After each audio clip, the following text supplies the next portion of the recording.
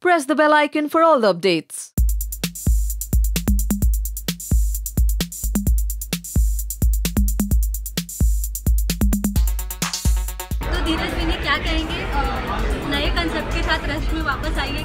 Congratulations to both uh, Pawan sir and Rashmi ma'am. I think uh, it's a it's a great news and it's a great thing. Congratulations to both of them and. Uh, we are really excited to see that how the things will shape up. I think it's gonna be big, really big. Uh, आज तक उन्होंने TV में इतना अच्छा काम किया है फ़िल्मों में इतना अच्छा काम किया वेब में आए हैं तो I think it's a great thing अच्छा क्या कहेंगे? फीमेल सेंट्रिक है पूरे शो के पहली बात तो we are very very very happy for you know Rashmi ji and the entire team and they come up with this new thing जो हमने uh, थोड़ा मिस कर दिया बट uh, जैसे कि सुनने में आ रहा है. So I think it's a very good show for younger women हम सिटीज़ में तो खैर हम सबके पास एक्सपोजर होता है रियलिटी शोज़ होते हैं but for people who don't have so much exposure मेरे हिसाब से uh, उनके लिए बहुत अच्छा प्लेटफॉर्म है और बहुत अच्छे लोग हैं so we are very happy for them and we are here to wish them all the very best अच्छा लास्टली लुक के बारे में क्या कहना चाहेंगे एक दूसरे को कॉम्प्लीमेंट करें Yeah, she always looks stunning. Yeah, means. Uh, Look who's talking. He always looks like a dude, no?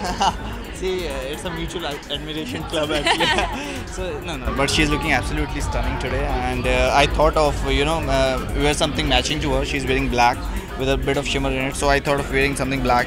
Um, I just you know got this jacket from somewhere, so I just donned it.